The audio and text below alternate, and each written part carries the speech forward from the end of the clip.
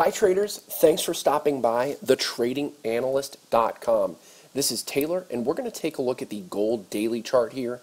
I'm going to give my analysis, thought process, and the idea here is for you to come away from this video with some newfound knowledge on technical analysis as well as some profitable trade ideas here on gold itself.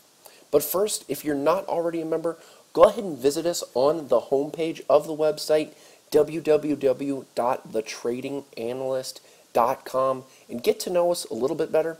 If you like the free videos and analysis that we give to you on a daily basis, it's nothing compared to the membership at thetradinganalyst.com. Once you sign up, you're going to be able to take part in the professional chat room, daily watch lists, the real-time profitable trade alerts that are not only given in the live chat room, but also for those of you with full-time jobs or part-time jobs or maybe you just can't be in front of the computer screen all day long, you're still going to get those profitable trade alerts via text message and email. You're also going to get the exclusive daily member videos, webinars, and an education from mentors like myself who truly care about your success in the market.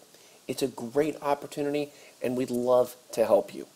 All right, so we're going to take a look at the gold chart here and as you can see we have another reaction low at this 115.60 level. So just to review, if you're watching these videos for the first time, gold has big support here. You can see how many times we've touched this level 115.60 in the past and you can see it was resistance here and a lot of sideways trading in that area over here as well.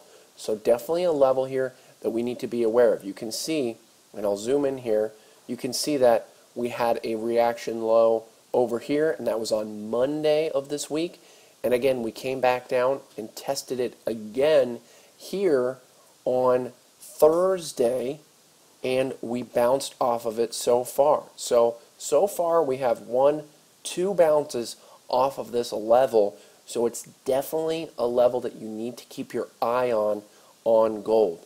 Now I'm going to zoom in a little bit here and I'm going to go over another level. So if gold breaks these highs at about 117.30, you can see it was the high of this day, this day, this day, and this day. If it breaks that highs, we're going to come up here and tag the highs up here near 119.30. You can see it was the low of this day and the lows of many days right here. So that's the next main level that you want to keep your eye on for gold. Thanks for stopping by and watching the video, everyone. Again, if you're not already a member, visit us on the homepage, get to know us a little bit better. If you like the free videos and analysis we give to you on a daily basis, it's nothing compared to the membership at thetradinganalyst.com.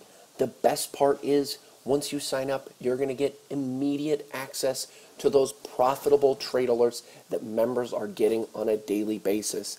It's a great opportunity We'd love to have you.